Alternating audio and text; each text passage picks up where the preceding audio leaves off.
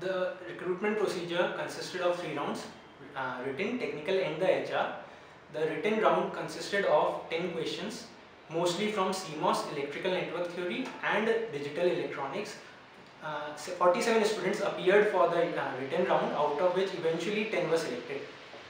The next round was technical interview. Uh, in my panel, there were two people. Eventually, uh, out of the 10, uh, 4 were selected for the HR interview. In my panel of HR interview, there were a team of 8 people taking the interview. Uh, eventually, 2 were selected.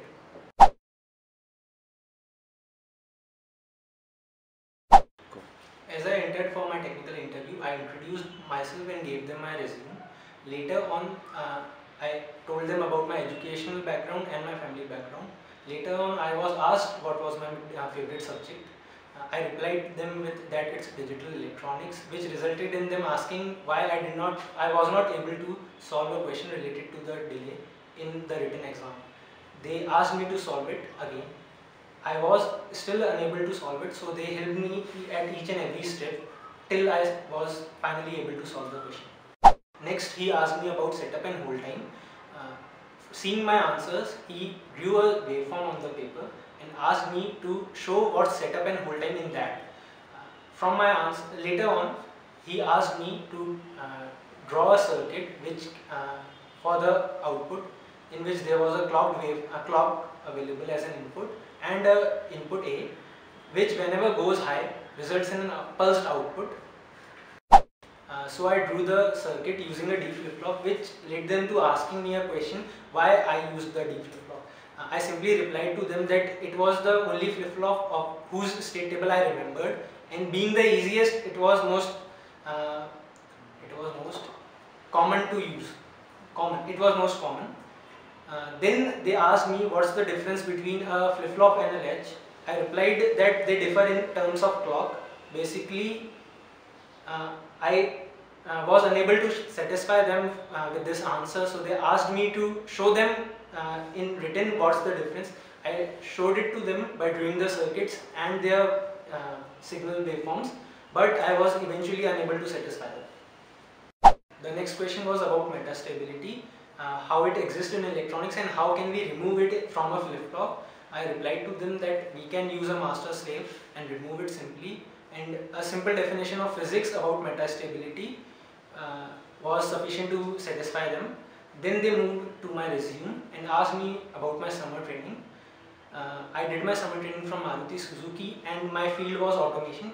The company, the technical guys were quite interested in it because the Freescale also deals in automation of automobiles.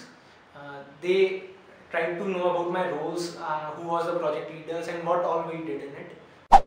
They went through my resume and saw Verilog written in it. They asked me from where had I learned Verilog. I replied to them it was a course floated in our semester and we took Verilog, a few of us took Verilog and we learned it.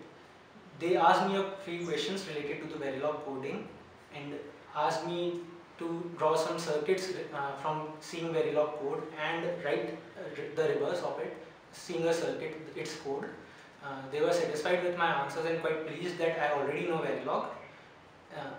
I answered, sim I simply answered all the questions.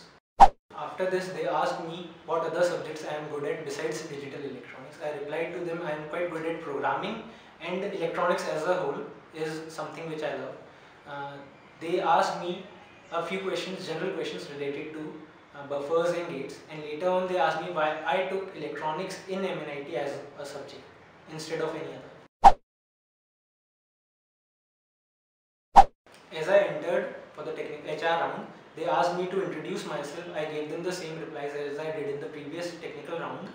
Uh, then they asked me uh, in which field would I like to go, manufacturing or designing it was a simple reply that I would like to go in designing as Freescale does not provide uh, manufacturing uh, profiles.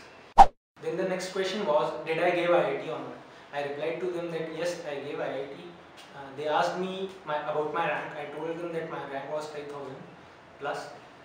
They asked me why didn't I drop for a year and prepared for IIT uh, for a year also. Uh, I told them that I was uh, allotted MNIT from the AIEEE paper, AIEEE. it is a pretty good institute and electronics is a branch which I love. I have been interested in. So it was the best option at that time for me. The next question was, where do I see myself in 5 years? I replied to them and then they asked me, would I like to join Freescale as a technical management uh, profile or in a technical uh, marketing profile. I was pretty firm on my point that I would like only to be joining as a technical, in a technical profile, not related to marketing or management. Uh, this discussion went around for an hour or so and I was, at the end I was pretty clear that I would like to join only in a technical field. Then they asked me how, how did I came to know about Freescale. I simply replied to them that I came to know about it from my seniors and then they asked me to arrange a few terms on the basis of my priorities. Those were primarily my career, my growth opportunities, future studies, uh, my compensation plan, uh, then was a, a, post as a team leader or a leadership post, etc.